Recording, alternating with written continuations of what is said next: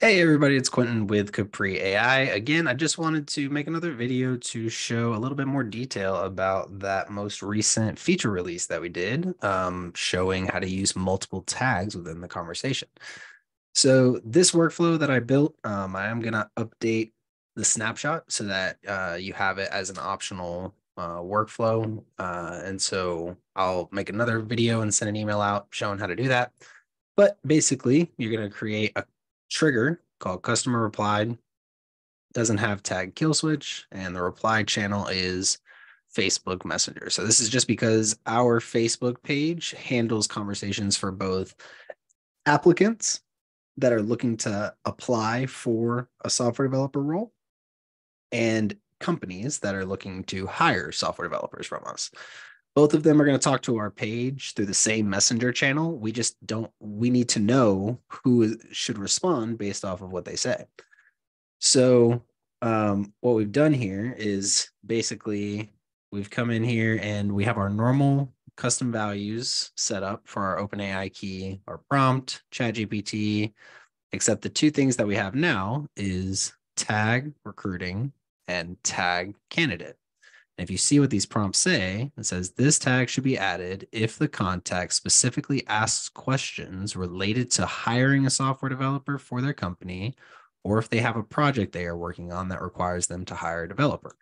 So giving that specific prompt and information for when this tag should be added, it'll know when to add that tag.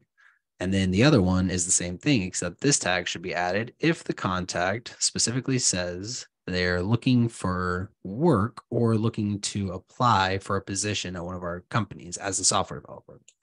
So these are two very different situations. And so they require different prompts. Mm-hmm.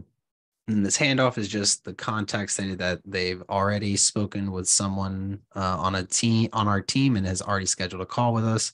I got more specific with it because it was getting a little early with it but I'm saying it is only considered a handoff if the contact specifically s- says they've already scheduled a call with our team. Otherwise, it cannot be considered a handoff. And so reinforcing it like that helps it uh, when it does the decision of is this considered a handoff condition or not. Um, so just getting really specific with it like that can can also help.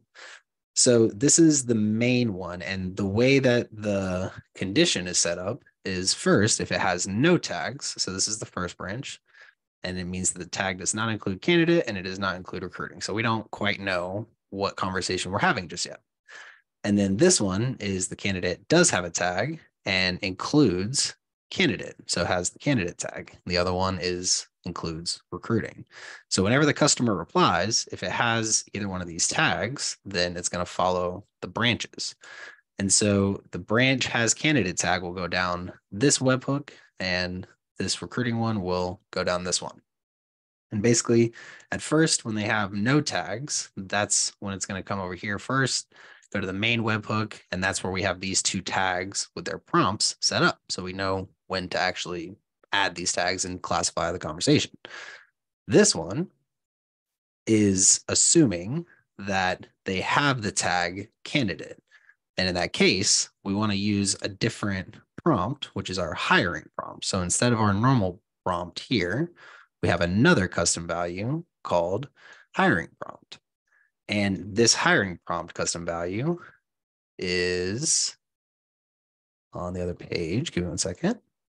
So this is the uh, this is actually the recruiting prompt. So I don't have the hiring one in here right now, but the the recruiting one or the hiring one would be the same way. But basically, this is Victoria, the friendly hiring assistant.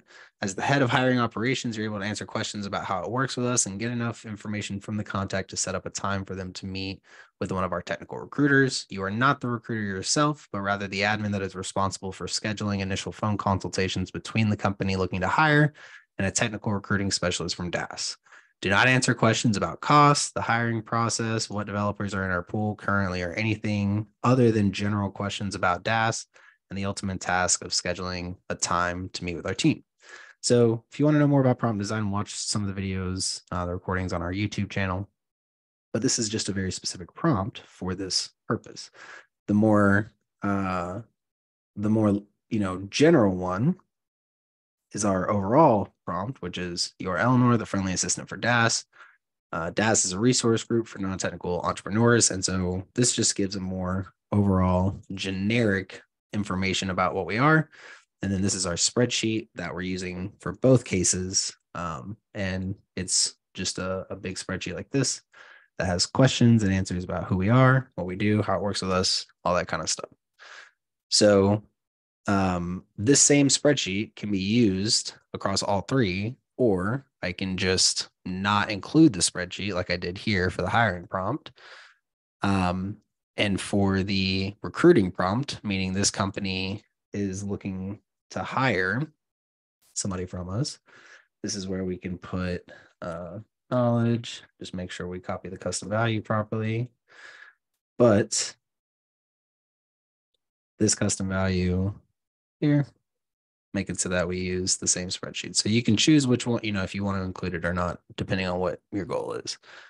Um, but in action, what this kind of looks like, and you know, you can see this is the candidate tag, this is the recruiting tag. So this is they're looking to hire. The goal is to respond. And actually for our candidate one, because it's more of a custom uh, because it's more of a custom action, we're actually setting the task to custom. We want it to be less of an assistant and more of a hiring manager. Um, and the disqualify prompt is that the contact does not speak English because all the developers that work with us, they have to be able to speak English since that's what our clients speak. So, um, and there's no real reason that I set like the fallback to silent or any of these other things. These are just kind of generic settings um, that you can test out depending on, you know, what you're looking to do. So, um, in action, what this kind of looks like is this is a most recent conversation I had with myself. It's basically, is anyone available to chat? Yes, I'm here and happy to help. So I didn't get any tag it at this point. And I said, Are you able to find me a React developer by next week? And uh, they said, Yes, we have a network of developers with various skills. The first step is to schedule a call. And at that point, I did get the uh, recruiting tag added because this this is clear that I'm looking to hire developers. And so I said, okay, sure, great. What day works best? Where do you hire most of them from? India. We source our developers from all over the world. So it knows how to answer this based on my spreadsheet. And then, you know, when they asked something about pricing, that's when they said, I'm not entirely sure about that. And that was good. That's what I wanted it to do. That's what my prompt says to do. Um, and it doesn't give any specific information about a recruiting fee. Says I'm not entirely sure about that. Um, okay. And then it just goes on to continue to schedule the call. Great. What day works best for us? Any day this week. Great. We have availability on Tuesday. And this is where it's reading the calendar. And from this point, I just kind of stopped because I was testing, but that's just to give you an idea of what it looks like uh, when it's running. So let me know if you have any questions. Um, I hope this makes sense. Uh, and I'll probably create just a recruiting specific snapshot for this um, since this is pretty specific to uh, to uh, recruiting, um, like a recruiting use case. So let me know if you have any questions and happy building.